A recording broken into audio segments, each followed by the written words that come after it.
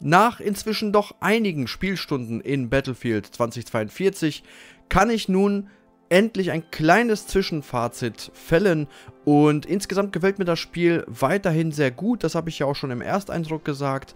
Trotzdem sind mir inzwischen natürlich auch Punkte aufgefallen, die nicht so gut laufen, aber auch Punkte, die ich besonders gut finde. Und was das für Punkte sind, werde ich euch jetzt in meinem Video verraten.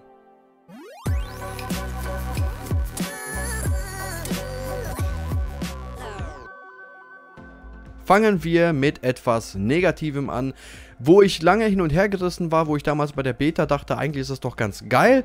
Aber ja, je länger man spielt, desto mehr fällt auf die Maps. Gerade die neuen Maps, die sieben Stück, die komplett neu für Battlefield 2042 gemacht wurden, sind stellenweise dann doch einfach zu groß ausgefallen weil es gibt Momente, ja, da kommt das typische Battlefield-Flair auf, da äh, tummeln sich so viele Gegner und Helikopter und Panzer und alles drumherum und da geht einfach die Post ab, aber es gibt genug Momente, gerade wenn man mal unglücklich spawnt oder einfach kein vernünftiger Spawnpunkt zur Verfügung steht und man gefühlt Ewigkeiten durch die Pampa laufen muss, dann hat man auch das Gefühl, irgendwie ist hier nichts los. Und dann sind so drei, vier Spots auf der Karte, da geht die Post ab und der Rest ist so ein bisschen tote Hose.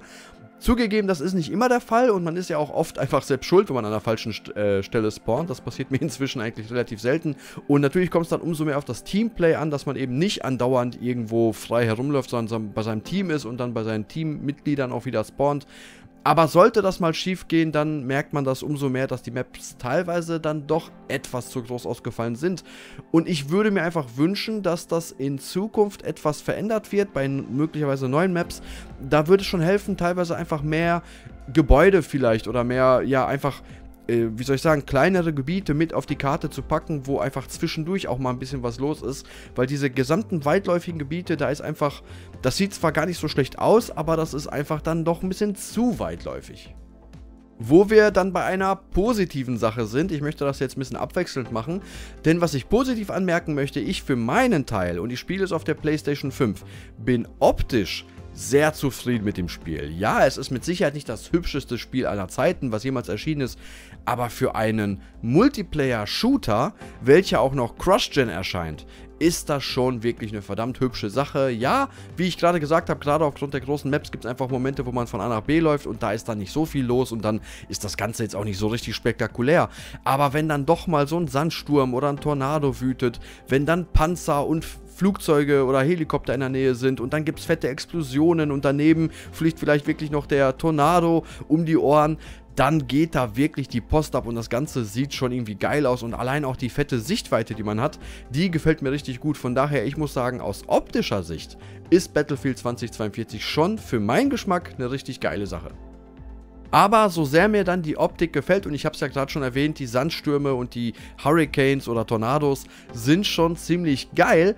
Aber am Ende muss ich leider auch sagen, was ich in mehreren Fachmagazinen ja auch ähm, gelesen habe, dass das Ganze so ein bisschen Beiwerk ist. Ja, also da wurde viel mehr darüber gesprochen und viel mehr daraus gemacht, als es dann tatsächlich ist. Also ich meine, geil sieht's aus und ja, es verändert den Spielfluss schon so ein bisschen, aber eben nicht so gravierend, wie es früher bei Battlefield 4 oder Battlefield Hardline ähm, und auch teilweise auch zuletzt bei Battlefield 5 der Fall war. Zugegebenermaßen muss man sagen, auf den meisten Maps sind es viele Hochhäuser und so ein Hochhaus zum Einstürzen zu bringen, wäre eine geile Sache. Dass das nicht mal einfach so möglich ist, ist aber auch irgendwo verständlich.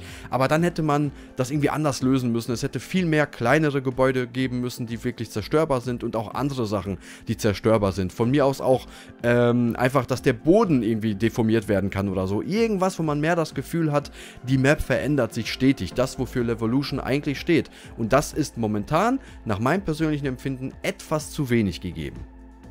Da wir ja immer schön im Wechsel machen, ist es jetzt wieder an der Zeit für was Positives und ich finde, dass der Umfang von Battlefield 2042 auch vom Start weg recht umfangreich ausgefallen ist.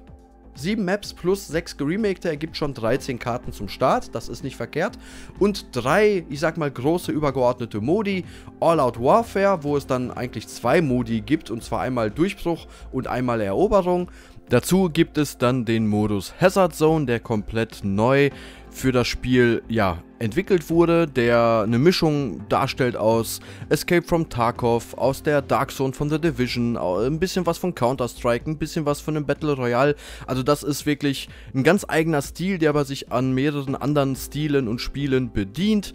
Ähm, und der letzte Modus ist dann Battlefield Portal. Das ist so dieser große Sandkasten, wo auch wir als Spieler die Chance haben, komplett eigene Spiele, Ideen und Spiele und ähm, ja, ja, einfach alle möglichen Wünsche sich zu erfüllen und zu sagen, wir machen ähm, alte Maps oder wir machen neue Maps und alte Maps oder wir machen Team Deathmatch, wir machen Free for All, wir machen nur Pistolen, wir machen nur Messer, wir machen, ähm, was weiß ich, nur Fahrzeuge. Du kannst dir alles Mögliche ausdenken. Da habe ich auch ein eigenes Video zu gemacht. Da könnt ihr oben gerne mal reinklicken, wenn ihr mal wissen wollt, wie ich diesen Portal-Modus so finde. Aber der ist auf jeden Fall eine Bereicherung.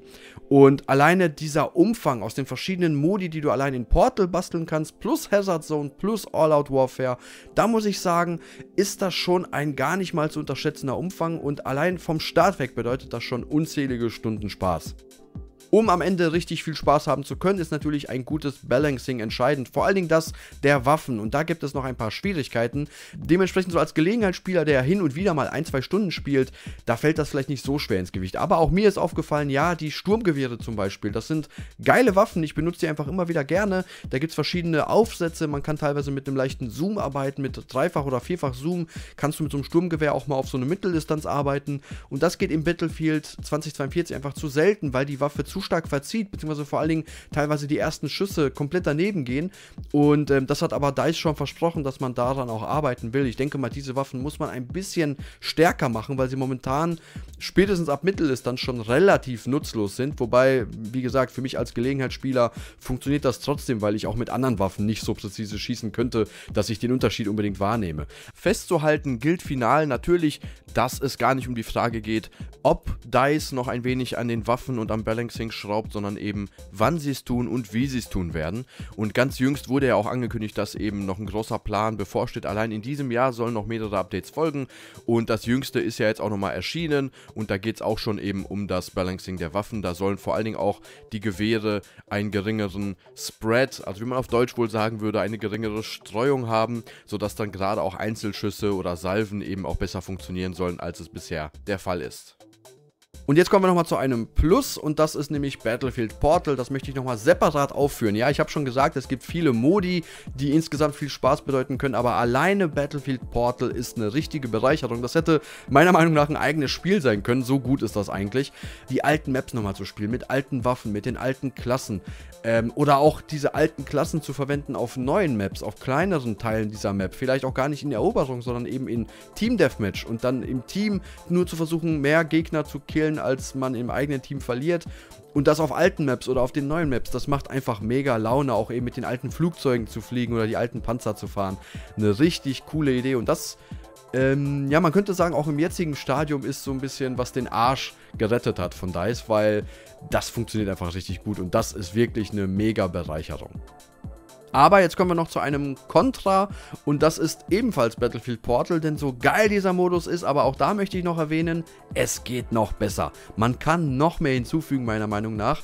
Es gibt ja zum Beispiel die Begrenzung, man hat ähm, eine Map Rotation, die man definieren kann und da kannst du einstellen, welche Maps sollen überhaupt zur Verfügung gestellt werden. Und wenn man jetzt zum Beispiel sagt, ich spiele nicht 64 gegen 64, sondern vielleicht, keine Ahnung, 16 gegen 16, egal ob Eroberung oder Team Deathmatch oder was auch immer, dann macht es natürlich Sinn, kleinere Maps zu nehmen als die sieben neuen Karten. Und da hat sich DICE schon gedacht, na klar, du kannst ja auch kleinere Teile der Map auswählen, um eben auch ein kleineres Gefecht möglich zu machen. Und da würde ich mir zum Beispiel einfach wünschen, dass man gesagt bekommt, ja, du kannst das in nicht nur in drei Stufen variieren, sondern in fünf oder sechs, sieben Stufen sogar, ja, dass man sogar teilweise auswählen könnte, ich will so ein ganz kleines Stück, ja, nur 10% dieser Riesenmap, weil ich da einfach nur ein 8 gegen 8 sogar machen möchte, ja, oder einfach nur 10 Leute free for all, ja, einfach nur Deathmatch quasi. Und das ist sehr schade. Es ist vordefiniert nicht nur, wie groß die Map ist, sondern auch, welcher Teil der Map das sein wird. Und stellt euch mal vor, alleine die großen neuen Maps von Battlefield 2042, die sind so riesig, wenn man einfach nur ein kleines 8 gegen 8 machen will zum Beispiel. Da könnte ich aus einer einzelnen Map wahrscheinlich schon fünf äh, einzelne kleine Maps machen, wenn ähm, der, der ähm, Portal Builder, also sozusagen das, das Programm, äh, mit dem man das eben gestaltet, wenn mir das frei zulassen würde, welches Quadrat ich quasi nutzen möchte für dieses Team Deathmatch oder für die Eroberung.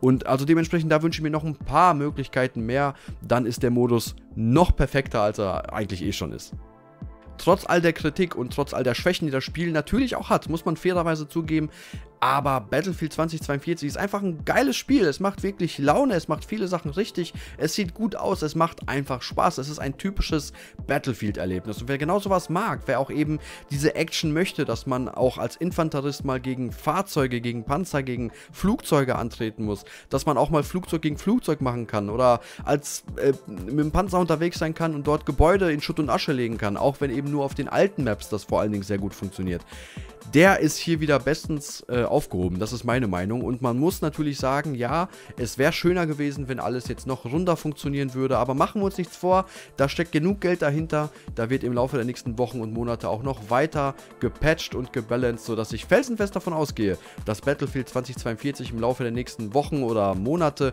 auf jeden Fall wieder ein richtig geiles Spiel werden wird. So wie es auch für meinen Geschmack Battlefield 5 gewesen ist.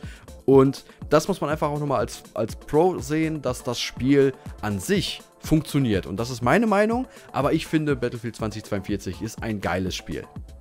Einen letzten negativen Punkt will ich dann aber noch anmerken, denn ich habe ja gerade gesagt, DICE wird noch ordentlich viel patchen und balancen und das werden die auch mit den Waffen tun müssen und ich möchte auch anmerken, generell muss noch ein bisschen gebalanced werden, das ist meine persönliche Meinung, auch gerade was Fahrzeuge betrifft. Ja, es bedarf natürlich einige Fahrzeuge auf der Map, weil die Maps einfach so groß sind, aber manchmal sind dann doch ein paar Panzer zu viel unterwegs und manchmal sind, also manchmal fällt einfach auf, dass einige der Fahrzeuge dann doch zu gut gepanzert sind und zu mächtig sind. Aber ja, irgendwie war das schon schon immer so, dass natürlich man als Infanterist, wenn man dann auf Panzer trifft oder auf einen guten Hubschrauberflieger oder so, dann hat man einfach keine Chance. Wenn ein richtig guter Pilot genau weiß, was er tut, dann ist man als Infanterist oft aufgeschmissen. Und das ist bei Battlefield 2042 natürlich keine Ausnahme, aber ein bisschen kann man da auch noch dran arbeiten. Puh, und die Liste war also gar nicht mal so kurz und ich habe jetzt ordentlich viel gequatscht, aber das sind so meine Empfindungen nach eben locker 15 oder vielleicht 16, 17 Stunden.